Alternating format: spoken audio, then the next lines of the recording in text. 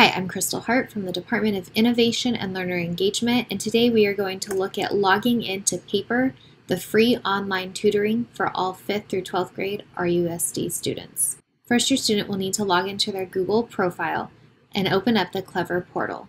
Once your student is logged into their Clever profile, they can scroll down to Remote Learning Opportunities. They'll want to favorite Paper Online Tutoring by clicking the heart. Now click on Paper. You will now need to click the Google Single Sign-On button.